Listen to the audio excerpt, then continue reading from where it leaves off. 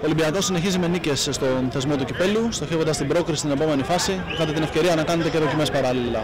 Ποιο το συμπέρασμά σας από το σημερινό παιχνίδι; Ε, από κάποια πράγματα έμεινα ευχαριστημένος, από κάποια άλλα λιγότερα, αλλά γενικά, ειδικά στο πρώτο μήχρονο μου άρεσαν αρκετά έτσι, θέματα που έχουν να κάνουν με τις τοποθετήσεις των παιχτών και το πώς αναπτυσσόμαστε.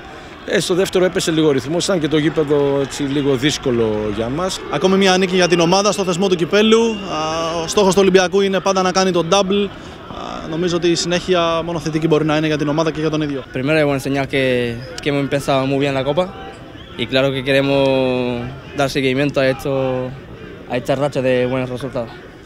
Καταρχήν είναι ένα πολύ καλό σημάδι το, το γεγονός ότι έχουμε ξεκινήσει πολύ καλά στο θέσιμο του κυπέλου και φυσικά μας δίνει αυτοπεποίθηση για να συνεχίσουμε με τον ίδιο τρόπο και στις δύο διοργανώσεις.